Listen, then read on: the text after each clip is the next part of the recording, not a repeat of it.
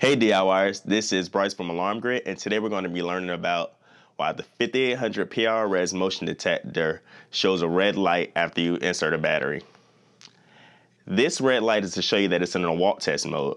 A walk test mode is basically letting you know that the motion is working and will be in walk test mode for the next 10 minutes initially after you insert the battery. It'll blink red after every time it picks up a motion to let you know that it is working. So if you insert a battery,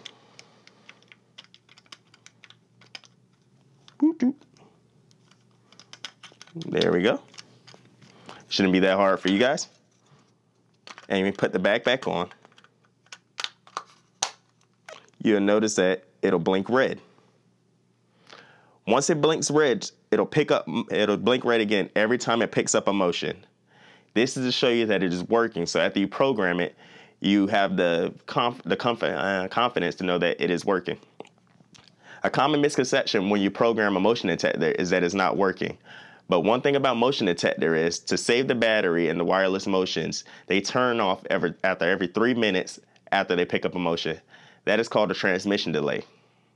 So to give you some confidence to let you know that it's working, they have a walk test that blinks red every time to show you that it's picking up motion. And the transmission delay is not valid when it's in walk test mode.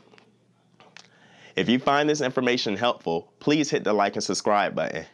And if you like our videos, please hit the notification button so that you can receive a video after every time we post.